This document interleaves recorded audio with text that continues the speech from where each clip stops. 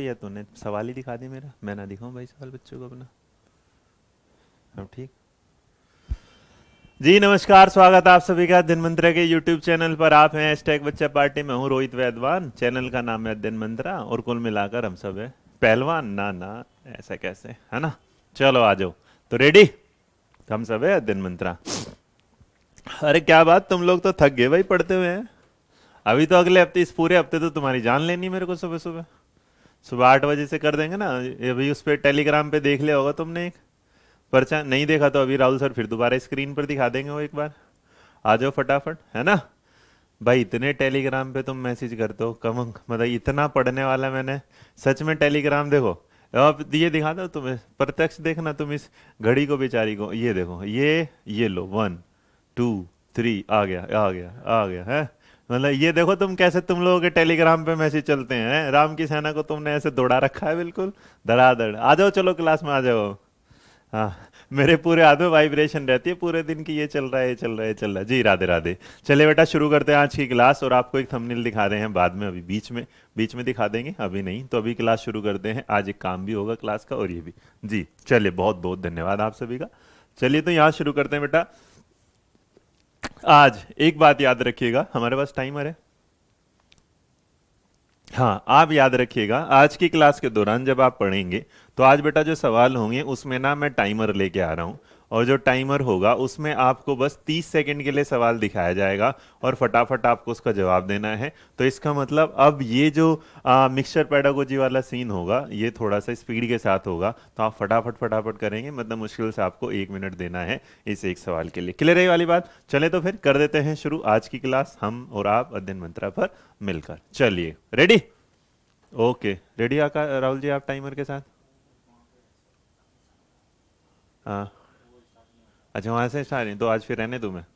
आज रहने दे, चलिए। आज रहने देते हैं भाई। राहुल जी ने बोल दे कि आज रहने दीजिएगा सर, बाद में कर देंगे। चलिए तो ये रहा आपके सामने आज का पहला सवाल, आपकी स्क्रीन पर। हिंदी, इंग्लिश दोनों भाषाओं में आपके सामने है। आपका तो सर दिख गया। कुछ नहीं कुछ नहीं दिखा, मज़ाक कर रहे हो तो। हरिंदर जी, आप तो शर्मा गए ऐसे। जी? आ जाओ तो how do children learn which is the statement given below not correct about this question कि बच्चे किस प्रकार से सीखते हैं? नीचे के दिए गए कथनों में से कौन सा इस विषय में सही नहीं है? ये पैडागोजी मिक्सचर जो है रिकॉल है। इसमें कुछ क्वेश्चंस आपको पिछले कराए मिल जाते हैं इसलिए ताकि आप उसके बारे में जानकारी रखें। कौन सा नहीं है? ऑप्शन आपके सामने आ गए हैं, बता दीजिएगा। बेटा एच टेट और उसी पे फोकस है, इसीलिए आप लोगों ने जो देखा होगा, मैंने अभी आज एक थंबनेल शेयर किया आप लोगों के लिए फैक्चुअल क्वेश्चन सीरीज़ सीडीपी की। हज़ार क्वेश्चन ऐसे करा देंगे, बस रटवा दूँगा, चिंता ना करना तुम। तो पहले के साथ option number A B C D जहाँ आप देना चाहते हैं तो पहले सवाल का जवाब क्या है? Some children learn only in the class children learn when they are cognitive prepared learn in many ways learn because they are naturally motivated इस प्रश्न में सही नहीं है। हाँ कि बच्चे केवल कक्षा में ही सीखते हैं, ये वाली बात क्या है? बिल्कुल सही। तो आप लोग ऑप्शन नंबर क्या चुन रहे हैं? डी जिन्होंने डी चुना है, वो एकदम बिल्कुल सही है। डी एकदम सही जवाब। बढ़ेंगे दूसरे सवाल की तरफ़। ये है आपका आज का सेकंड नंबर का क्वेश्चन आज आपके सामने 20 सवाल है। स्पीड बना के रखिएगा। एस टेट और एमपी टेट को फोकस में रखते हो फ़िलहाल ये फैक्चुअल क्वेश्चन सीरीज़ आप लोगों के लिए मैं लाया हूँ। तो आराम से चिंता मत करो, साथ हैं। है? चलो, सवाल नंबर दूसरा आता है giving homework group work to children is an effective learning strategy क्या आप जब बच्चों को समूह कार्य देते हैं होमवर्क देते हैं, क्या इसका ग्रुप वर्क देते हैं तो ये क्यों दिया जाता है? ऑप्शंस पकड़ो, उसमें से एक ट्रिक पकड़ लेना, जवाब मिल जाएगा। किसके बारे में बात कर रहे हैं? ग्रुप वर्क तो एक बात तो तय है कि अकेला तो होगा नहीं वो, और अकेला अगर नहीं होगा तो मेरे बच्चे सीधी सीधी सी बात है स्मॉल ग्रुप वाली बात हो नहीं सकती। ये कह देना कि बच्चे अपना कार्य करने में क्विकली करेंगे, ठीक है? रिड्यूस करेगा टीचर का काम, ये नहीं मायने रखता। ऑप्शन एक और दो बचता है, और एक और दो में एक बात तय है कि यहाँ पर children are able to their work सही बात। लेकिन बेटा, यहाँ पर क्या है? एक दूसरे के साथ और एक दूसरे के साथ। ये क्या करेंगे? सीखेंगे, और जब सीखेंगे तो इस सवाल का जो जवाब है, वो बिल्कुल क्या है? सही। और जिन लोगों ने ऑप्शन नंबर बी चुना है, वो एकदम बिल्कुल परफेक्ट तरीके से, बेहतरीन तरीके से इस सवाल का सही जवाब दे रहे हैं, ठीक है? चलो, यहाँ आपने चुना ऑप्शन नंबर बी जो बिल्कुल आपका सही जवाब है। इसी के साथ आपका तीसरा सवाल आपकी स्क्रीन पर ये रहा। ये रहा आपके सामने। प्रकृतिवाद, व्यवहारिकतावाद, आदर्शवाद और मानवतावाद से रिलेटेड सवाल है। सवाल नंबर तीन हमने आप पूछा है। बताइएगा क्या होगा? तीन के साथ कि discipline is necessary for self realisation there should be no free discipline external constant and supervision of spontaneous activity the teacher should give the teacher should guide the children in acquiring the spiritual values of the universe the about description of discipline belongs which one of the following school of psychological philosophical thoughts बताइएगा क्या होगा? समझ में आया तो ठीक, नहीं समझ में आया तो हम बताएँगे। चिंता करने की कोई बात है नहीं। जी। यहाँ आप बी को विशाल मौर्य जी कहते हैं बी होगा। वेस्ट बंगाल में। रिया घोष बेटा इकतीस जनवरी दूर है, बहुत कुछ बदलता है। अभी तो आपने देखा, कल एक खबर ये भी पहली थी कि सी टेट भी कैंसिल हो जाएगा। फिर रात में 11 बजे की वीडियो देव सर आपको बना के दी ताकि आप घबराएँ ना, पढ़ाई में ध्यान। तो ऐसी खबरें चलते रहने दो। आप अपने उस पर फोकस रखिएगा कि कहाँ है। अब, इस सवाल का जवाब अधिकांश लोग ए बी सी डी दे रहे हैं। और तुम लोगों को सच्ची में अपने दिल पे हाथ रख के बोलना, झूठ ना बोलना, कितने लोग ऐसे हैं जो तुक्का नहीं मार रहे? मेरे को पता है तुक्का सारे मार रहे हैं, इसलिए मैं पूछ रहा हूँ, तुक्का कौन नहीं मार रहा? जो ईमानदारी से जवाब दे रहा है। चलो तुम्हारी सच्चाई के साथ है। कितने लोग हैं जो तुक्का नहीं मार रहे? हाँ। बताओ जरा। हाँ बेटा, स्टेट के लिए भी ये लिखना पड़ेगा थंबनेल पे कल से। एच और एमपी विशेष फोकस करें। नहीं आया ना समझ? हाँ जी। आई डिड नॉट अंडरस्टैंड हाँ जी हाँ जी हाँ जी। नहीं आया समझ में? चलो एक काम करते हैं, फिर एक बढ़िया सवाल था, सवाल नंबर तीन है तो याद रखिएगा यहाँ। अब देखो, अगर ऐसा कोई भी सवाल जो फिलोसफिकल थॉट के साथ आए ना तो नॉर्मली ना हिंदी की तरफ़ आके समझना तो जरा आसानी समझोगे। देखो, आत्म प्रत्यक्षीकरण के लिए अनुशासन आवश्यक है। सहज क्रियाकलापों का दमन, स्वच्छ अनुशासन तथा बाहरी रुकावटें न हो, सृष्टि के आध्यात्मिक मूल्य अर्जित करने में अध्यापक को, बच्चे को मार्गदर्शन कराना चाहिए। अनुशासन का उपयुक्त वितरण दार्शनिक विचारधारा के किस संप्रदाय का है, देखिएगा। अब आपको क्या करना है कि यहाँ एक सवाल को समझना। जब भी कोई ऐसा सवाल आ जाए ना, जब भी कोई ऐसा सवाल में आ जाए तो थोड़ा सा एक बात याद रखिएगा। जब ये कहते हैं ना कि अध्यापक को इसका मार्गदर्शन कराना चाहिए। इसका मतलब कोई ऐसी चीज़ है जो खुद से नहीं सीखी जा रही, किसी दूसरे ने सिखानी है। और जब दूसरे ने सिखानी है तो याद रखो नेचुरल है नहीं, आपके व्यवहार वाली वो बात आए नहीं आइडियलिस्टिक वाली बात आपसे कहानियाँ तो यहाँ पर जो आपको सिखाते हैं तो टीचर जब आपको सिखाते हैं तो टीचर सिखाते हैं आपको मानवतावाद। इसका मतलब नॉर्मली याद रखिएगा, आपको ह्यूमन बिहेवियर की तरह कि एक बच्चे को इस तरह से काम करना चाहिए, इस तरह सोसाइटी में रहना चाहिए, यहाँ पर उसके साथ बच्चे को इस तरह फील कराना चाहिए ओवरऑल सोसाइटी में क्या करना चाहिए? इंक्लूसिव के साथ जुड़ना चाहिए तो इन सारी चीज़ों को याद रखिएगा। नॉर्मली जब भी आपको वैसे तो आपके ऑप्शंस और क्वेश्चंस में ये चीज़ें आएँगी नहीं, क्योंकि ये आगे आती हैं जाके डीएसएसबी में और केवी में। लेकिन अगर आपके का, सवाल में कभी भी ऐसा कोई सवाल आ जाए और मेरे बच्चे जहाँ पर ना कोई टीचर आपको इस चीज़ के बारे में बता रहा हो गाइड कर रहा हो तो याद रखना इस सवाल के जवाब के साथ हमेशा ना एक ही वर्ड आएगा ह्यूमनिज्म मतलब मानवतावाद। तो जिनके लिए नया क्वेश्चन है, उनका भी जवाब नॉर्मल भी याद रखना कि जिन चीज़ों के साथ आए तो जब हम मानवता के बारे में सिखाए, जैसे आप एसएसटी सीखते हैं तो अगर किसी ने इस चीज़ को बोल दिया ना यहाँ ह्यूमनिज्म की जगह मोरल वैल्यू लिख दिया होता तो तब इस सवाल का जवाब में मोरल वैल्यू के साथ भी क्या ले लेता, सही ले लेता? तो इन सवालों को हमेशा याद रखिएगा। बाकी फिलोसफी में अभी इसको पढ़ाने का टाइम नहीं है, कभी आराम से पढ़ाऊँगा, सारी चीज़ों के साथ, ठीक है? चलो, आगे बढ़ो, तीन के साथ जवाब होगा चार, सवाल नंबर चार इसी बात पर, ये रहा। इंक्लूसिव जैसे ही आ गया inclusive education assume that we have to change according to कि आपसे पूछे जा रहे, समावेशी शिक्षा मानती है कि हमें डैश के अनुरूप बदलना है। समावेशी शिक्षा मानती है कि हमें डैश के रूप में क्या है? बदलना है तो बताइएगा क्या होगा। हम्म। ओके मोर हाँ बिल्कुल खुशबू शर्मा। यहाँ तक नया सवाल बेटा को सवाल नंबर क्या है आपके सामने चार है। इंक्लूसिव एजुकेशन के बारे में पूछ रहा है, बता दीजिएगा क्या होगा। मोशा वरीम खानम, मैं बेटा इनके बारे में सारी डिटेल बता दूँगा। अभी बताऊँगा तो मेरा ये पैडागोजी का कॉन्सेप्ट एग्ज़ाम ओरिएंटेड फ़िलहाल चल रहे हैं, क्योंकि पेपर है तो उसमें ज़्यादा डिटेल में नहीं जा रहा। डिटेल वाली क्लास में डिटेल में समझना आप।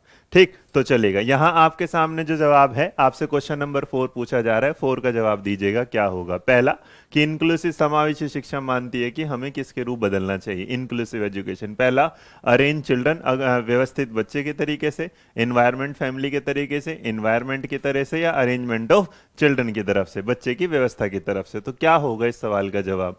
बहुत बढ़िया। शाबाश। प्रियंका शर्मा बेटा गलत जा रहा है, थोड़ा सा समझ बच्चे? वहाँ बिल्कुल ठीक है। यहाँ स्पिरिचुअल वैल्यू के बारे में तो आप ग्रोथ एंड डेवलपमेंट जब पढ़ते हैं तो हम कहते हैं ना स्पिरिचुअल डेवलपमेंट की तो वहाँ पे भी बात नहीं करते। आध्यात्मिक क्योंकि वो सेल्फ एक्चुअलाइजेशन के उस प्रोसेस में लास्ट में जाता है। तो नॉर्मली हम उसके बारे में फिलोसफिकल कॉन्सेप्ट में चाइल्ड डेवलपमेंट के साथ नहीं लेके जाते। हम उसे ज़्यादा बड़ी बड़ी बातें नहीं सिखा सकते। हम उसे नॉर्मल बता के चलेंगे। यहाँ तो मेरे बच्चे, यहाँ ना अब याद रखिएगा इंक्लूसिव जो एजुकेशन होगी, वो एज्यूम करती है आपको बदलना होगा किसके हिसाब से? बच्चे के हिसाब से, बच्चे की व्यवस्थाओं के हिसाब से। कुछ लोग जवाब देंगे इन्वायरमेंट के हिसाब से नहीं, लेकिन इन्वायरमेंट कैसा है? स्टूडेंट इन्वायरमेंट होता तब भी मैं इस सवाल को जवाब मान लेता। लेकिन यहाँ देखिए अरेंजमेंट ऑफ़ चाइल्ड क्या है? बच्चे की व्यवस्था। इसका मतलब उस क्लास में इंक्लूसिव क्लास में अगर आपके पास नॉर्मल चाइल्ड है और स्पेशल चाइल्ड है तो जब आप इन दोनों को मिला देते हैं तो आप इंक्लूसिव एजुकेशन के क्लासरूम में उनके लिए चीज़ें क्या है? अवेलेबल करा देते हैं और उनके हिसाब से आप चीज़ों को समझते हैं। तो जो लोग इस सवाल का जवाब इन्वायरमेंट दे रहे थे, बेटा वो फ़िलहाल क्या हो जाएगा? गलत। इस सवाल का सही जवाब होगा, बच्चे की व्यवस्था अर्थात अरेंजमेंट ऑफ़ चाइल्ड की किस तरह आपको उसे समझाना और रखना है। बहुत बढ़िया। D for Delhi. इसी के बाद बढ़िएगा सवाल नंबर पाँच। क्वेश्चन नंबर फाइव ये रहा। Wild teaching which is the most important benefit in the showing picture कि पढ़ाते समय चित्र दिखाने का सबसे महत्वपूर्ण लाभ क्या होता है? पढ़ाते टाइम जब आप चित्र दिखाते हैं तो उसका सबसे बड़ा फ़ायदा और सबसे बड़ा मतलब फ़ायदा ही पूछा गया बताइएगा। हाँ जी।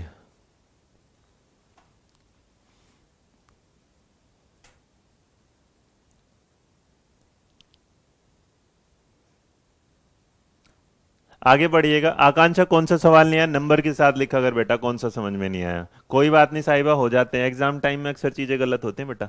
चलो, सवाल नंबर पाँच पूछ रहे हैं, क्यों फ़ायदा होता है टी पिक्चर से पढ़ाने का? तो इसका तो बहुत आसान सवाल है। आपको पता है कि जो पिक्चर है, वो क्या कर देती है? जो टेक्स्ट है इट गिव द टीचर को रिलीफ कराएगी, इसकी बात नहीं। एक्सप्लेन करती है टेक्स्ट को। ये बढ़िया, मैंने, बल्कि सवाल मैंने पढ़ाया भी था। Student are interested to see drawing नहीं है। टू एंटरटेन स्टूडेंट नहीं है। इस सवाल का जो सही जवाब होगा, वो क्या होगा? किससे जो आप टेक्स्ट पढ़ रहे हैं, उसको पढ़ाने में क्या है? आसानी मिल जाती है और बच्चा चीज़ों को ईजिली और अच्छे से समझ लेता है। तो इस सवाल का जो जवाब होगा, वो क्या होगा? ऑप्शन नंबर बी बार बार आप एक चीज़ को लेके आएँगे तो मैंने समझा देना बेटा, फिर दोबारा कोई दिक्कत नहीं है। लेकिन टाइम तुम लोगों का लग जाएगा।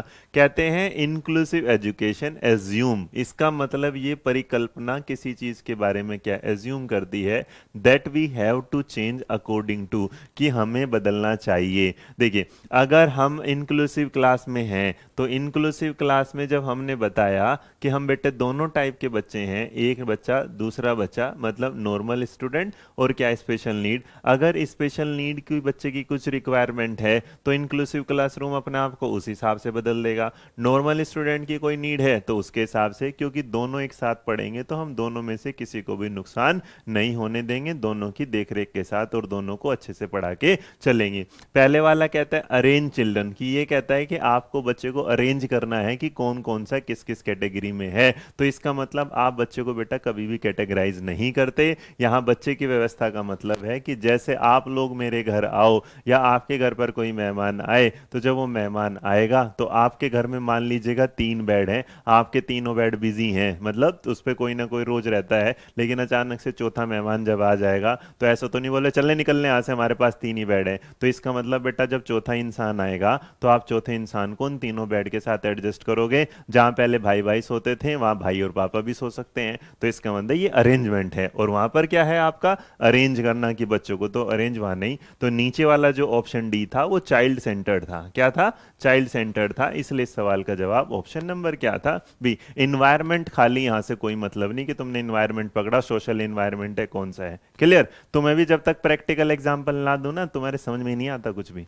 चलो, पांचवा नंबर का जो जवाब पूछा था तो पांचवा हमारा हो गया था, क्योंकि हमें इसमें मदद मिलती है हमारे टेक्स्ट को समझाने में। आगे बढ़ते हैं, सवाल नंबर सिक्स इंग्लिश पैडागोजी का है। इंग्लिश पैडागोजी का सवाल है, भाई प्लीज़ ये ना पूछना कि सर जी, हिंदी में नहीं क्यों नहीं है? इंग्लिश पैडागोजी का सवाल है, ठीक है? चलो। जी अकॉर्डिंग बहुत बढ़िया। हम्म। चलो, सवाल कहता है the best way the best way to develop a child vocabulary at the initial stage Singh कि इनिशियल स्टेज पर, शुरुआती तौर पर, बच्चे की वोकेबलरी को बेस्ट तरीके से डेवलप करने का क्या तरीका होता है? ऑप्शन आपके सामने है, बताइएगा क्या होगा। शालिनी भारद्वाज, बढ़िया बेटा, चलो। हम्म। यहाँ क्वेश्चन नंबर सिक्स आपके सामने है और जो सिक्स आपसे पूछ रहा है उसका जवाब देंगे सबसे बढ़िया। पहला कहता है, बच्चे को अकेला छोड़ दो कहानी के साथ। दूसरा कहता है, बच्चे को आप यंग एज में क्या कर दो, स्कूल भेज दो। तीसरा कहता है, एंगेज कर दो, किसके साथ रीडिंग अलाउड की तेज तेज चिल्ला के बोल के पढ़ता रहे। और लास्ट में शो कर दीजिए उसे वेरियस प्रोग्राम ऑन टीवी। तो इस सवाल का जो सही जवाब है, सी और डी के साथ फंसेंगे। तो यहाँ, लेकिन अगर आप इंग्लिश पैडागोजी में हैं और आपको शब्दों का चयन करना पता है कि कौन सा पॉजिटिव वर्ड होता है तो मुझे नहीं लगता लीव करने वाला, गलत हो जाएगा। यंग एज में स्कूल भेजने वाली कोई बात नहीं बनी। एंगेज करने वाली बात क्या है? पॉजिटिव है। और ये दिखा देना टीवी पर कि ठीक है, लेकिन जहाँ है, अगर आप उसको इन्वॉल्व करेंगे एंगेज करेंगे और रीडिंग से रिलेटेड चीज़ों को वो थोड़ा जोड़ जोड़ के पढ़ने लगेगा तो वहाँ पर क्या होगा? सही। तो जिन्होंने वेरियस प्रोग्राम को चुना है, वो फ़िलहाल गलत है, क्योंकि हमारे पास ऑप्शन नंबर क्या अवेलेबल है? सी तो अगर आप सी को बोलेंगे कि एंगेज करके चलेंगे बच्चे को, ताकि वो क्लास में जैसे छोटी छोटी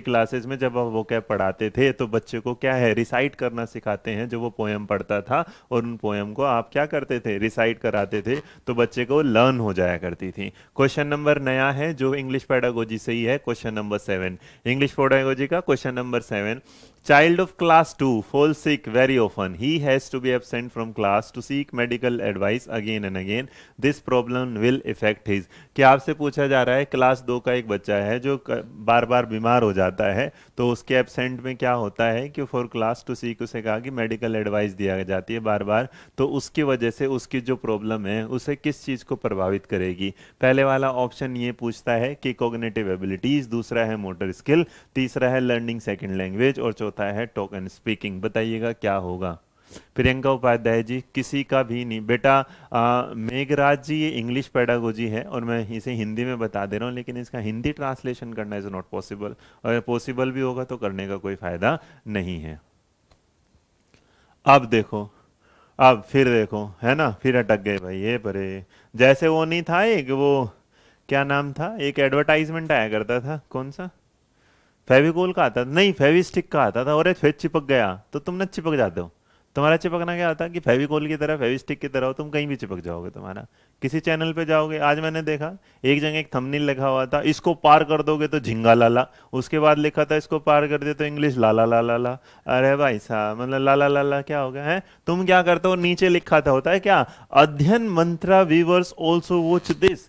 मतलब यार तुम्हारा मतलब इतना बड़ा संज्ञान है तुम्हारा कि सामने लिखा हो उसने झिंगा लाला और तुम झिंगा लाला पढ़ने चल दिए। कि मैथ पैडागोजी पढ़ोगे तो उससे हो जाएगा, अरे भाई, बस कुछ भी मतलब।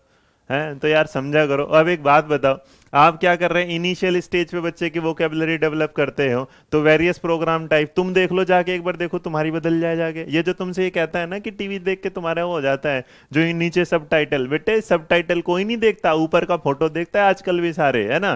तो तुम लोगों को, मैं तो तमिल मूवी देख लेता हूँ सब टाइटल के चक्कर में, लेकिन फिर भी सब टाइटल थोड़े ना ध्यान रहता है, ध्यान रहता है मूवी का। कुछ भी करवाता है झिंगा लाला, है ना? आए ना तुम ऐसी। तो इसका मतलब ये तो देखो उम्र क्या है इसकी? बेचारे की उम्र इनिशियल स्टेज की हमारे बच्चे के छोटे छोटे शब्द सिखाने हैं, तुम लोग पढ़ गए यहाँ पर। तो इसका मतलब इस सवाल का जो जवाब था, वो यही था कि आप एंगेज करिएगा talk with the child and reading out aloud बच्चे को तो शामिल करोगे, बस उसे पिक्चर दिखा दो। ले बेटा तो अलग अलग प्रोग्राम दे, कुछ भी। ऑप्शन नंबर सी तुम्हें भी मस्ती करने का मन आ जाता है मेरे साथ। चलो क्वेश्चन नंबर सेवन हाँ देखो, मुँह फाड़े हुए हैं सारे के सारे। तो क्वेश्चन नंबर सेवन देखो, ये पूछा था आपसे कि एक बच्चा क्या हो जाता है? बीमार हो जाता है? क्लास सेकंड का था और उसे एबसेंट रहता है, अपनी मेडिकल एडवाइस मिली उसे कि बेटा तू घर पे ही रहे। तो इस प्रॉब्लम की वजह से क्या इफ़ेक्ट होगा उसका? Option number A B C D बताओ क्या होगा? हाँ बेटा, कुछ भी। सॉरी झिंगा लाला किसी का था? मेरा तो लाला लाला हो गया ना हाँ। चलो, सवाल का जवाब दो। इसी बात पर लाइक बढ़ा दी तुमने बास बहुत बढ़िया। अब तुम्हारे लाइक बढ़वाने के लिए इसका मतलब ऐसे काम करेंगे हम। अब देखो अब देखो, मेरी नज़रों के सामने अगर साहिबा का मैसेज आ जाए, कल टेलीग्राम पे करो सर तुम पुराने बच्चों का नाम लेते हो। अब क्या करो, ये इतनी स्पीड के साथ मैसेज करती है लड़की, लेकिन सवाल गलत करेगी तो इसका मतलब ये थोड़ी ना हम ही वो कर देंगे। देखो, अब फिर एक बच्चा कह रहा है, हिंदी में पढ़ा दो। लिख दू क्या राहुल में इस पे? हिंदी में। कक्षा दो का बालक बड़ी जल्दी जल्दी बीमार हो जाता है। He has to be absent for class to seek medical advice again और बार बार उसे उसके डॉक्टर द्वारा कहते हैं, बेटा, आराम कर ले, आराम कर ले। तो इसके वजह से जो प्रॉब्लम होगी, उसके किस चीज़ को प्रभावित करेगी? अब तुम में से आधे से ज़्यादा बच्चे इस सवाल का गलत जवाब देंगे। मुश्किल से कुछ लोगों ने जवाब दिया होगा सही। और इस सवाल का जो जवाब है, वो है option number C option number C है सही। बाकी जो है, वो भी ये भी गलत। ये भी गलत और ये भी गलत। तो तुम लोगों ने जो भी जवाब दिया है, इस सवाल का मात्र एक ही जवाब है, सवाल नंबर सेवन का। ऑप्शन नंबर क्या होगा सी? अब तुम अगर लड़ना चाहो, समझना चाहो तो मैं समझा देता हूँ, है ना? संस्कृत के नहीं बेटा, संस्कृत का नहीं होगा। देखो अब तुम लोग इंग्लिश पैडागोजी ना हिंदी में बता कैसे कर रहे हैं यार? तुम लोग समझो मेरे बच्चे। तो अगर आप इस सवाल का जवाब दे रहे हैं ये वाला तो अब जरा सवाल को जवाब देखिएगा। है हाँ, यहाँ देखो। तो यहाँ सी कैसे होगा? हो गए ना? सबकी बोलती बंद। ओ क्यों कंफ्यूजन क्लियर कर देता हूँ? देखो। कहा था कि क्लास किसका बच्चा है? सेकंड का है। और वो क्या हो रहा है? बीमार हो जा रहा है। तो उसके एबसेंट में जो क्लास है, जो मेडिकल एडवाइस मिली थी, उसकी प्रॉब्लम से विल इफ़ेक्ट उसकी क्या चीज़ प्रभावित होगी? याद रखिएगा, जब भी हम पढ़ाते हैं, जब भी हम पढ़ाते हैं तो बच्चे को यह कह देना कि वो बीमार है और उसकी बेटा कोग्नेटिव एबिलिटीज कम हो जाएगी। तो देखिए, बीमार होने से तो फिर तो हम तो सारे पागल हो जाएँगे। तुम भी पागल, मैं भी पागल, सारे के सारे पागल हैं। तो इसका मतलब ये तो गलत। और ये कह देना कि वो बीमार हो रहा है तो उसकी मोटर स्किल काम करना बंद कर देंगी। इसका मतलब यहाँ भी गड़बड़ हो जाएगी। ये कह देना कि बीमार होने से उसे टोकिंग एंड स्पीकिंग गलत अरे मेरे बेटा, मेरे बच्चे, सवाल को देख, सवाल ने कहा था कि ही है तो वो गलत है। सवाल का जवाब सी, और याद रखिएगा, किसी के बीमार होने से उसके संज्ञानात्मक का नहीं, दिक्कत यह है कि उस क्लास में नहीं जा पाएगा तो इसका मतलब उसे सवाल नहीं मिल पाएगा। क्लियर भैया? हाँ। सही तो इस सवाल का जो जवाब होगा, वो क्या होगा? Option number C. तो सी जो है, जितने भी लोगों का, वो बिल्कुल एकदम सही है। क्लियर? चले आगे। नाउ क्लियर, समझा करो बच्चे। चलो, क्योंकि स्कूल सवाल ने इतनी बढ़िया लाइन दे दी इसी वजह से कि he has to be absent अगर वो एबसेंट रहेगा तो लर्निंग नहीं कर पाएगा। बढ़िया सवाल था आज का। सवाल नंबर आठ देखो, ये रहा। In learning a new language जब आप लर्निंग करते हैं एक नई भाषा की तो क्या होता है? बताइएगा, चले आगे। जी।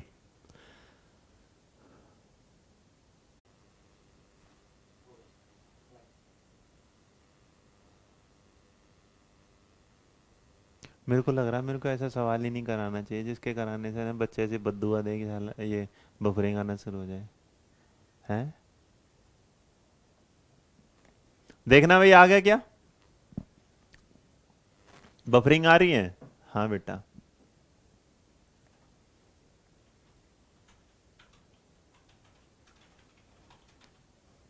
देखो, निकल लिए होंगे सौ दो सौ तो। चलो कहीं और मार के घूम के आते हैं ना। यहाँ तो बफरिंग चल रही है, वहाँ देखेंगे सफरिंग कहाँ होंगे? अब किसी और को सफ़र करने चलेंगे। बफर तो यहाँ हो रहा है सफ़र किसी और को करेंगे। है ना? देखो मेरी आवाज़ तो आ ही रही होगी। मेरे को लग रहा है किसी दिन संन्यास ले लूँगा, भाई साहब, ध्यान रखियो। यहीं बैठ जाऊँगा तुम लोगों के सामने। चलो, मैं सामने ही हूँ। सवाल नंबर आठ है, सात तो क्लियर हो गया था ना? क्वेश्चन नंबर सेवन तक क्लियर था ना? ठीक है तो सेवन के बाद क्वेश्चन नंबर एट पे पूछा था in learning a new language बताओ भाई क्या है? सारा मज़ा ही खराब कर देता है बफरिंग भी। हाँ तो क्वेश्चन नंबर एट का जवाब दो भाई फटाफट।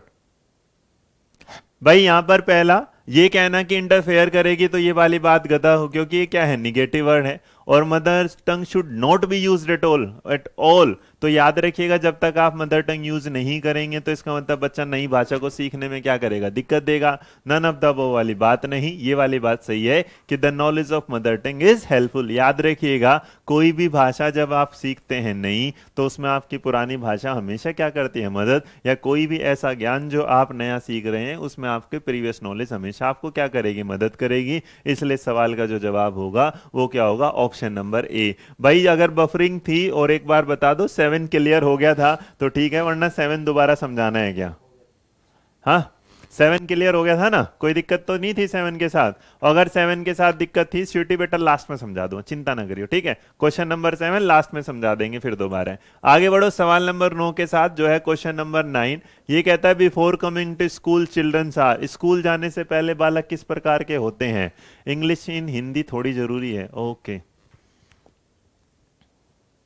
यार रुको, एक बार साथ एक्सप्लेन कर दो, नहीं है मेरे को आगे ना बढ़ने देंगे। लो क्वेश्चन नंबर सेवन एक बार समझ लो, जल्दी जल्दी समझना। इन्होंने कहा था, बेटा, कि क्लास दो का एक बच्चा है जो बीमार हो जाता है, जिसकी वजह से उसे मेडिकल एडवाइस लेनी पड़ती है और उसकी वजह से स्कूल से एबसेंट रहेगा।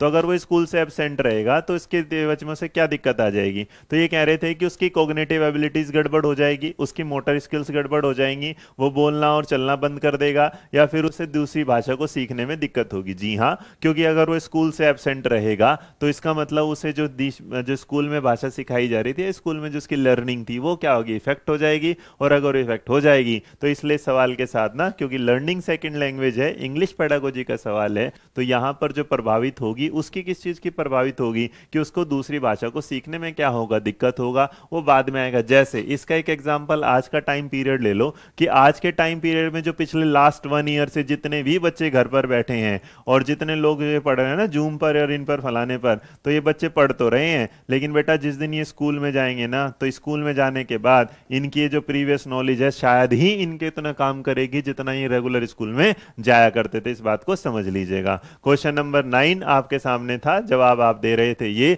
कि before coming to school childrens are option A B C D क्या था? नाइन में आपने ए बी सी को जवाब दिया है। मैं जवाब देता हूँ कौन सा? देखो fully aware of fully aware तो तुम नहीं, हम नहीं तो ये कैसे हो जाएगा? डो नॉट नो एनीथिंग अब ये कहना कि कुछ भी नहीं जानता, ये अपने आप में गलत बात है। तीसरा वाला कहता है well equipped in their native language जी हाँ क्योंकि जब भी स्कूल में बच्चा आएगा तो अपनी नेटिव लैंग्वेज मतलब क्या होगा? रीजनल लैंग्वेज के साथ या मतलब होगा अपनी किसके साथ? जो आपकी घरेलू भाषा है या आपकी लैंग्वेज लर्निंग एक्विजिशन में एक्विजिशन के बारे में वो अवगत रहेगा। तो यहाँ याद रखिएगा, जब भी कोई बच्चा स्कूल में जाएगा, वो हमेशा क्या है? अवगत होता है अपने नेटिव लैंग्वेज से। Well versed in more than one language तो ये कहना कि एक से ज़्यादा भाषाओं में वो होगा। उचित करेगा तो वो भी क्या हो जाएगा? गलत। इसलिए सवाल का जो सही जवाब है, वो है ऑप्शन नंबर क्या होगा? सी। तो जो लोग ऑप्शन नंबर सी जवाब दे रहे हैं, वो बढ़िया है। आशा करता हूँ समझ में भी आ गया होगा। बहुत बढ़िया। चलेगा, आगे बढ़ेंगे नए सवाल की तरफ़। और जो नया सवाल है, वो है आज का सवाल नंबर दस। कहते हैं which of the following is not a language component आपसे पूछ रहे हैं लैंग्वेज का कौन सा एक घटक नहीं है? ऑप्शन है साउंड सिंबल वोकेबलरी स्ट्रक्चर आपसे पूछा जा रहा है लैंग्वेज का कौन सा एक कंपोनेंट नहीं है? साउंड सिंबल वोकेबलरी और स्ट्रक्चर क्या होगा? सवाल नंबर दस है, आपके सामने जवाब दीजिएगा कि लैंग्वेज का कौन सा घटक नहीं है। साउंड है सिंबल है वोकेबलरी है स्ट्रक्चर है। जी, आज क्वेश्चन अच्छे हैं, धन्यवाद। बहुत बढ़िया। यहाँ जवाब दे दो, क्या होगा इस सवाल का जवाब?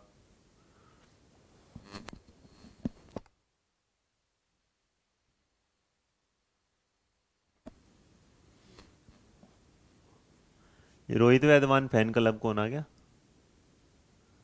ए, वाह, शाबाश। चलो तो आपसे पूछ रहे हैं क्या है? नोट लैंग्वेज कंपोनेंट जो है, बताइएगा क्या होगा भाई इसका? डी जवाब दे रहे हैं। अरे भाई लैंग्वेज की भाषा के उसमें याद रखिएगा साउंड नहीं होता कॉम्पोनेंटिंग घटक साउंड नहीं होगा। सिंबल भी होते हैं, जो आप यूज़ करते हैं सिंबल के तौर पर ना। आप सिंबल क्या होते हैं, देख लेंगे एक बार, उसको भी बता देंगे, ठीक है? हाँ दो में डाउट रहेगा, दोनों के डाउट में क्लियर कर देता हूँ, फ़िलहाल दोनों के साथ। तो कौन कौन सा होगा? मेरे बच्चे स्ट्रक्चर भी होता है वोकेबलरी भी होता है। साउंड याद रखिए जब आते हैं तो जब आप लैंग्वेज में, भाषा में सीखते हैं तो नॉर्मली तो आप फोनेटिक्स वगैरह सीखते हैं और यहाँ पर जो सिंबल है, अब ये ऑप्शन जब आया था तो इसके दोनों चीज़ों को समझ लीजिएगा, दोनों को याद रखिएगा। बिल्कुल आराम से करवाया था यहाँ पहले, बिल्कुल। तो उसमें ना नॉर्मली आप सिंबल्स का यूज़ करते हैं लैंग्वेज में, लेकिन आप साउंड का यूज़ नहीं करते। बस इस सवाल के साथ, क्योंकि लिंग्विस्टिक में जब आप जाते हैं, वहाँ जाके आप इन चीज़ों को बढ़ा देते हैं। तो जिन लोगों ने जवाब दिया है ए और मैक्सिमम लोगों ने दिया है, उन्होंने इसका जवाब साउंड दिया है बिल्कुल सही। तो इस सवाल का जवाब ऑप्शन नंबर ए बिल्कुल होगा सही। टाइम ज़्यादा हो रहा है, थोड़ा स्पीड से चलो, वरना क्वेश्चन बच जाएँगे आज के। सवाल नंबर 11 आपके सामने ईवीएस e से है, हिंदी, इंग्लिश दोनों भाषाओं में। हिंदी, इंग्लिश दोनों भाषाओं में है। सिंबल कोड हाँ सांकेतिक भाषा। बहुत बढ़िया बेटा, सौरभी, बहुत बढ़िया। चलिएगा, आगे सरते हैं आपके सामने नए सवाल में, और जो नया सवाल है आपके सामने, वो है डांडी मार्च टुक प्लेस इन ईयर कि डांडी मार्च कब आया था, बताइएगा। डांडी मुझे फ़ोन से रिलेटेड लगा।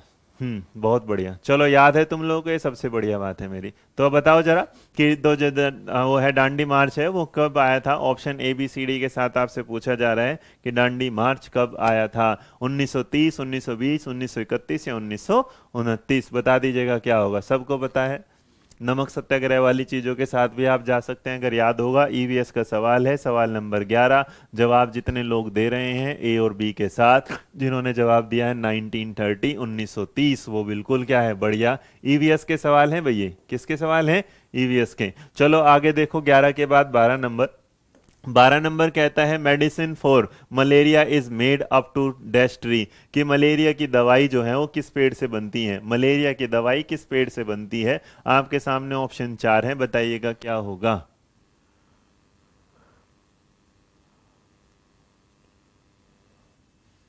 मलेरिया की दवाई किससे बनती है, बताइएगा। A B C D cinchona के साथ है ना? सिनकोना है, चिकोना है, साइको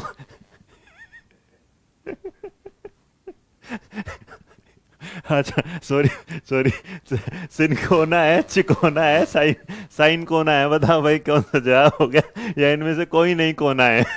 इसमें नीचे भी लिखना चाहिए, इनमें से कोई नहीं कोना है। ये लो ऑप्शन बना दिया मैंने। बताओ जल्दी कि यहाँ जो medicine of malaria was made up to किसके साथ है? तो आपके साथ सवाल का जवाब तो समझ में आ गया होगा है ना? तो इस सवाल का सही जवाब है सिनकोना ऑप्शन नंबर ए है ना? डी नंबर के साथ मत जाना इनमें से कोई नहीं कोना है, है ना? चलो, इस सवाल का जवाब ऑप्शन नंबर ए है। आज की क्लास कुछ ज़्यादा हँसी की होगी। बारह नंबर के बाद चलेगा क्वेश्चन नंबर थर्टीन की तरफ़। क्वेश्चन नंबर थर्टीन है आप लोगों के लिए ये रहा, जिसमें आपसे पूछ रहे हम सवाल क्या? कि रोनाल्ड रॉस को दवाइयों के नोबल पुरस्कार से सम्मानित किया गया, जो उन्हें मिला था कब? नोबल प्राइज मिला था रोनाल्ड रॉस साहब को 1905 में 1904 1903 1902 बताइए क्या होगा? हाँ जी। हाँ। जी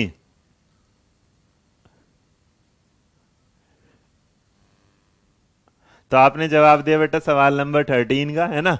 अच्छा रोनाल्ड रोस के बारे में थोड़ी सी ना नॉलेज आपको ये ये नहीं देता हूँ वर्क दूसरा दूँगा ठीक है। तो क्वेश्चन नंबर थर्टीन का तो फिक्स जवाब है, उसमें कोई ज़रूरत ही नहीं है। ऑप्शन नंबर देखो अलग अलग आ रहा है, लेकिन एक बार बेटा देख लीजिएगा 1902 1902 इस सवाल का सही जवाब है। तो एक बार 1902 फिक्स कर लीजिएगा, बाकी लोगों ने जो जो ऑप्शन दिए हैं, वो एक बार चेक कर लीजिएगा क्रॉस चेक तो ईयर में थोड़ा सा कन्फ्यूज़न हो जाता है, लेकिन याद रखिएगा, सवाल का जो सही जवाब है, वो है ऑप्शन नंबर डी तो जिन्होंने ऑप्शन नंबर डी जवाब दिया है, वो एकदम क्या है, सही है। बाकी बढ़ेंगे आगे की तरफ़। आगे बढ़ते हैं, आपको मिलेगा सवाल नंबर 14 आपसे पूछता है ये कि Bachendri Pal was the first Indian women and the women in the world to reach the peak of mountain Everest कल हमने माउंटेन एवरेस्ट की ऊंचाई के बारे में सवाल पूछा था। आज हम पूछ रहे हैं कि भारतीय जो नारी थी बचेंद्री पाल, वो सबसे पहले पहुँची थी, विश्व की पहली महिला थी जो माउंट एवरेस्ट पर पहुँची थी। तो आपके सामने बताना है, पहली, तीसरी, पांचवी या सेकेंड कौन से नंबर की थी?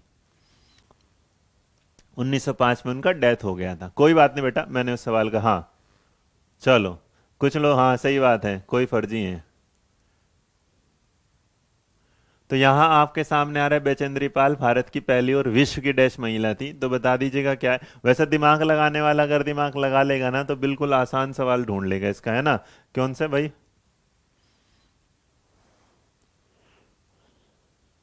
भारत की क्या थी? पहली, और अगर पूछा जाए कि वर्ल्ड की कितने नंबर की थी तो मेरे बच्चे याद रखिएगा, अगर वर्ल्ड की कोई पूछेगा तो वर्ल्ड की क्या थी? फिफ्थ नंबर की थी। कौन से नंबर की थी? पाँचवें नंबर की थी। इसलिए सवाल का जवाब होगा option number C. World India की कौन से नंबर की थी? पहली, और जो वर्ल्ड की थी, वो क्या थी? पाँचवें नंबर की। ये सवाल दो से तीन बार आया तो इन सवालों को याद रखा करो। नया सवाल आपके सामने ये रहा, जो है क्वेश्चन नंबर आज का फिफ्टीन, और फिफ्टीन में आपसे पूछते हैं क्या? कि how should the teaching of children in pre-secondary class be done for the development of individual variation.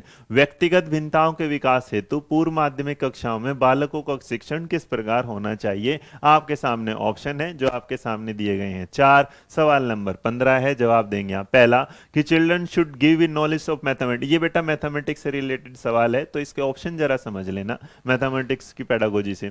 Children should be given knowledge of mathematics and language through the game method बहुत बढ़िया बात है। They should be given the information of alphabet and children counting orally from the very beginning ये भी बहुत अच्छी बात है। Children should be made picture before writing and teaching तो क्रिएटिविटी को बढ़ा, ये भी बहुत बढ़िया बात है। और अगर सारी चीज़ें ही बढ़िया हैं तो ऑप्शन नंबर डी कहता है, मैं तो सर्वोपरि हूँ, मैं सबसे बढ़िया हूँ। इसलिए सवाल का जवाब ऑप्शन नंबर डी कि जब भी आप क्या कर रहे हैं इंडिविजुअल वेरिएशन के बारे में बता रहे हैं तो बच्चा अगर जानेगा, सीखेगा तो चीज़ों को एक दूसरे के साथ रिलेट भी करेगा। तो आप देते हैं जवाब D Kanupriya D Dilip Kumar D बहुत बढ़िया। सवाल का जवाब option number D next question ये रहा आपके सामने. मैथमेटिक्स से पेडागोजी से ये ये. आप एक शिक्षक होने के नाते अपनी कक्षा की कक्षाओं का शिक्षण कैसे करेंगे? कि अगर आप एक टीचर हैं तो आप अपनी कक्षाओं का शिक्षण कैसे कराएँगे? जी तो आप यहाँ जवाब देते पहला, कि देखो इन्हें सेपरेट कर देंगे. 16 के साथ देखो. पहले में कह रहा, अलगाव, ना. हम जुदा हो गए. ये वाली बात बच्चों के साथ क्या है? गलत है, ये होना नहीं. Making unsolicited comment on the student so that they do not consider themselves oh hoy छात्रों पर अवांछनीय टिप्पणी, ना, बिल्कुल नहीं। बालक, भगवान भगवान के बारे में बुरा, बिल्कुल गलत जवाब। और अगर ये हो गया तो देखो दिमाग लगाने वाली बात है, जो तुम्हारे पास बहुत ज़्यादा है। तो इसलिए ये भी पता है कि जब ऊपर के दो खत्म हो गए तो ऑल ऑफ़ द वैसे खत्म हो जाएगा। तो बचा कौन सा आंसर सी तो जिन लोगों ने जवाब दिया, मेरे बच्चे सी वो बिल्कुल क्या है? सही है? तो सी पे मारो छापा, बढ़ो आगे की तरफ़। जो होगा आज का सवाल नंबर सोलह के बाद, सवाल नंबर सत्रह। क्वेश्चन नंबर सेवनटीन, ये रहा, दिनेश जो है हमारे, आजकल बड़े परेशान चल रहा है हमारा बच्चा। Dinesh a learner in your class always talk with you so what would be your opinion about Dinesh? कि दिनेश है जो हमारी क्लास का पूरे दिन, रात हमेशा आपसे बात करता रहता है तो आपकी दिनेश के बारे में क्या राय बनेगी? जो आपसे पूछा जा रहा है ऑप्शन में यहाँ। पहला, कि Dinesh is the most spoken student है आपका दिनेश क्या है? इमेजिनेटिव स्टूडेंट है, दिनेश इज़ थिंकिंग स्टूडेंट है, और लास्ट कहता है Dinesh family circumstances are not good है। बताओ क्या होगा जवाब? जी, सवाल नंबर सत्रह। आजकल ये फ़ैन क्लब कुछ ज़्यादा ही चल रहे हैं। रोहित वैदवान फलक है ये स्पीड के साथ जवाब दे रहा है, जो भी है। दे रहा है देरी। हाँ। मेरे फ़ैन कहाँ हो गए गलती से कोई बन गया होगा ऐसे किसी ने बना लिया होगा बेचारे ने। चलो, सवाल नंबर 17 का जवाब दो, क्या होगा? क्वेश्चन नंबर 17 का जवाब। तो बेटा, ये याद रखिएगा, दिनेश एक चिंतनशील छात्र है, क्या? तो यहाँ आप ये कह देंगे कि मोस्ट बोलने वाला है तो ये नहीं कह सकते, क्योंकि सवाल समझिएगा Dinesh learner in your class always talk with you ऐसा नहीं कहा गया कि ये सबके साथ बात करता है। इन्होंने कहा कि ये आपके साथ बात करता है so what should be your opinion about them या तो यहाँ पर पहला था मोस्ट स्पोकन हटा दीजिएगा। इमेजिनेटिव इसके बारे में कुछ पता नहीं, और फैमिली के सर्कमस्टांसिस से हटा देते हैं तो ये कहा जा सकता है कि दिनेश जो है, क्या है, चिंतनशील वो है, जो आपस में आपके साथ क्या कर रहा है कम्युनिकेशन कर रहा है। इमेजिनेटिव नहीं होगा बेटा, क्योंकि उसने ऐसा ऊपर सवाल ने कोई बोला ही नहीं, कि वो आगे जाके सोचता है, हर सवाल पर बात करता है ये। तो इसलिए सवाल का जो बेटा जवाब होगा, वो क्या होगा? ऑप्शन नंबर सी जिन्होंने जवाब दिया वो कि एक चिंतनशील छात्र है, वो हमेशा आपसे बात करता है। अदरवाइज़ ऑप्शन तो ये भी कुछ खास नहीं है। ठीक है, चलो सत्रह के बाद सवाल नंबर अठारह ये रहा। क्वेश्चन नंबर एटीन आपके सामने सामने a student of your class Rohit perform best in ओहो मेरा ही नाम लगा दिया शाबाश।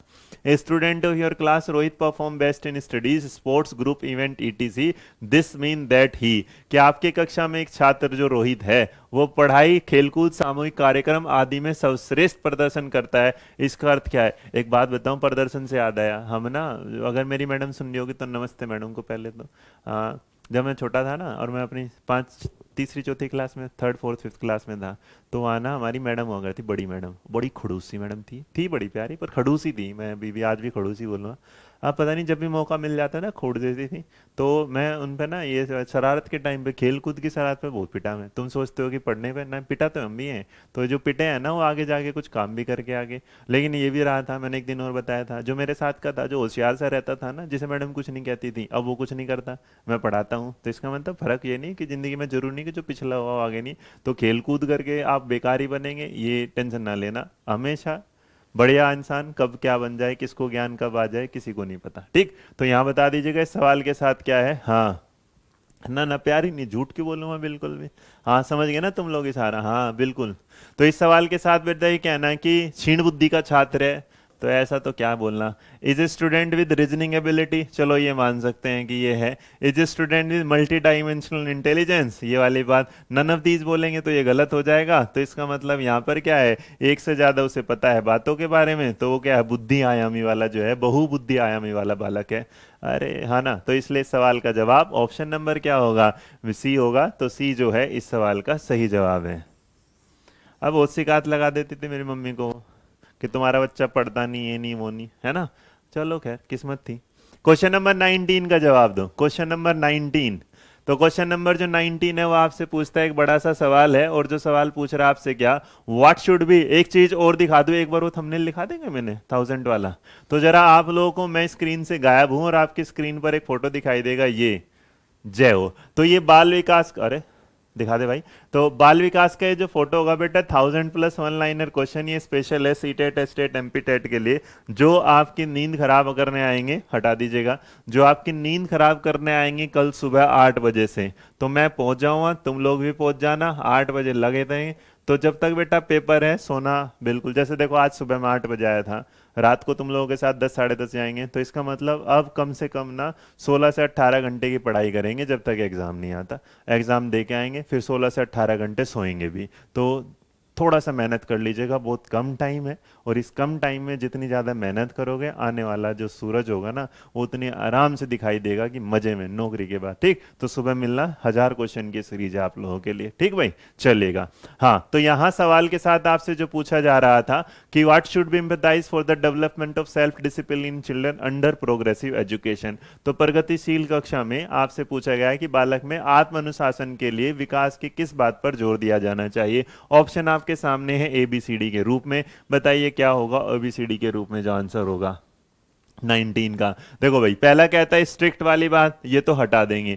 रिस्पॉन्सिबिलिटी वाली सेंस आएगी, बहुत बढ़िया। जैसे तुम्हें मैंने इस सवाल के लिए दिखाया कि तुम लोगों को सुबह आठ बजे हर हाल में क्या है, आना ही आना है, ठीक है? Development of self decision not empathize देखो, तुम खुद को अगर सेल्फ असेसमेंट के पोस्ट पे नहीं जाओगे, ये। और लास्ट वाला कहता है explaining children by various parables for self discipline ये छोड़ दो, यहाँ सबसे बड़ी बात है। और तुमसे मैंने कई बार बोला है कि जहाँ पर आपको सेंस खुद के लिए ऑन वर्ड जहाँ पर आ जाएगा जाएगा उससे बढ़िया कोई है ही नहीं। जैसे पिछले कई चार दिनों से मुझे लग रहा है कि मेरे को किसी की मोटिवेशन की क्लास की ज़रूरत है, लेकिन फिर मैं सोचता हूँ कि मोटिवेशन क्लास की अगर मुझे ज़रूरत होगी तो फिर दो दिन लूँगा, फिर चार दिन बाद, फिर वही कलेश आ जाएगा ज़िंदगी में। तो इसका मतलब आप मोटिवेशन खुद को खुद ही करेंगे, खुद ही लड़ेंगे, खुद ही जीतेंगे और उसके बाद जो रिस्पॉन्सिबिलिटी पड़ेगी वो भी एक मज़ा देगी अलग ही। तो इस सवाल का जो जवाब होगा, सही वो क्या है? ऑप्शन नंबर बी तो जिन लोगों ने जवाब दिया है बी वो बिल्कुल क्या है? सही। बढ़ेंगे अपने आगे ले सवाल की तरफ़, जो है आज का हमारा सवाल नंबर 20 लेकिन सवाल नंबर 20 ये है जो आपका आज का होमवर्क है। तो आज इस क्लास में एक नया रूटीन लाया गया। होमवर्क होगा आपका ये कि आपको मुझे इसका जवाब देना है 15 टू 20 वर्ड्स में। आप मेरे को जवाब देंगे 15 टू 20 वर्ड्स में और इसका जवाब देने के लिए आपके पास इस बार कमेंट बॉक्स तो होगा, लेकिन साथ साथ में होगा टेलीग्राम के साथ। तो टेलीग्राम के चैनल पर आप डिस्कशन जो ग्रुप है, जो ज्वाइन है, ठीक है आना चाहते हो, आ जाओ, नहीं आना चाहते, तुम्हारी मर्ज़ी। तो जहाँ आप उसमें देखेंगे तो वहाँ टेलीग्राम चैनल पर डिस्कशन ग्रुप में राम की सेना वहाँ पर आप इस सवाल का जवाब देंगे कि दोनों में क्या डिफरेंस है। और ये आपका समय कल दोपहर तीन बजे तक का है। उससे पहले पहले आप इस सवाल का जवाब देंगे। पंद्रह से बीस शब्दों में कि डिफरेंस क्या होता है लेक्सिकल में और डिफरेंस क्या होता है फ़ंक्शन में, या दोनों क्या होते हैं और दोनों को किस प्रकार यूज़ किया जाता है। तो याद रखिएगा, ये आपका आज का होगा क्या है सवाल। तो आपको इसका जवाब देना है। आशा करते हैं आज की क्लास आपको अच्छी लगी होगी स्कोर बता दीजिएगा। कैसा होगा? मेरे पास नहीं है टेलीग्राम सर तो मेरे बच्चे डाउनलोड करो, है ना? गूगल प्ले पे सब कुछ है है ना? ये रहा। चलेगा तो आज के लिए फिर इतना ही है। स्कोर बता दीजिएगा। मिलेंगे आपसे फिर नई क्लास में। तब तक खुश रहिए, मुस्कुराते रहिएगा और ध्यान रखिएगा अपना।